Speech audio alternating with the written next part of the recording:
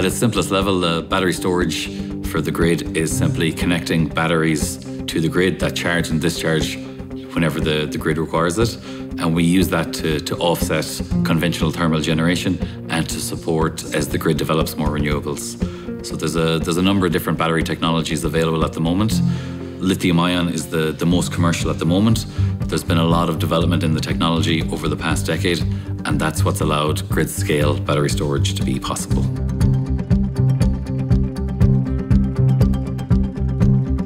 Batteries themselves are similar to the batteries that are in your mobile phone. They're built up into modules, and these are built up into racks, similar to racks in a data center.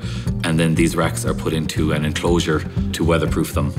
To build a grid scale battery storage, a number of these enclosures are, are put together and connected through a power conversion system, which uh, allows these batteries to charge and discharge directly on the transmission network. Generally, on a shipping container size battery, you get about five megawatt hours of energy. So that's could be five megawatts for one hour or one megawatt for five hours. And to put that into perspective, I suppose five megawatt hours of energy would power about 10,000 Irish homes for an hour. The actual storage in the battery really depends on the, the battery chemistry you're using. So generally for a grid connected battery like we're using, it would be for hours up to a couple of days before you'd start to lose energy.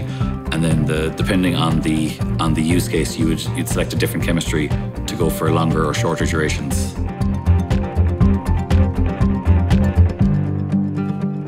For domestic houses, you can you can install a small battery that will capture the energy from a from a rooftop solar system.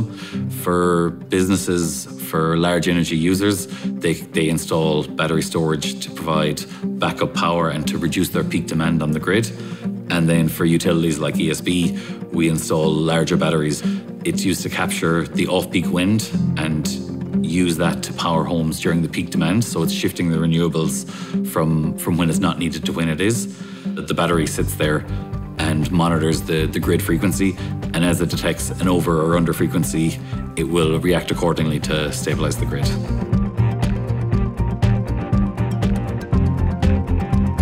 At the moment, the Irish grid is limited to 65% uh, SNSP, so that's the amount of renewable generation connected relative to the overall demand on the grid.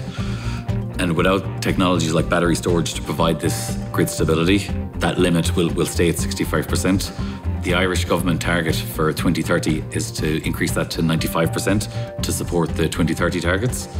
To increase the, the amount of renewables on the grid, a technology like battery storage is, is required to, to maintain stability as thermal generation is switched off.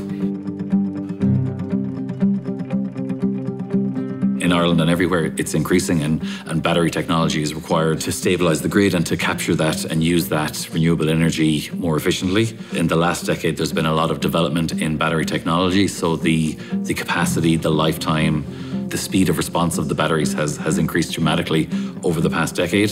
So it, it's now useful for a grid. And now batteries have got to the point where they're competitive with thermal generation for deployment onto grids. At the moment, there's 21 megawatts of grid connected storage in Ireland. There's 700 megawatts of projects in construction or pre construction at the moment, and there's the same number of projects in, in various stages of development. There's a lot of growth coming in the market, and ESB has projects in, in all stages of development.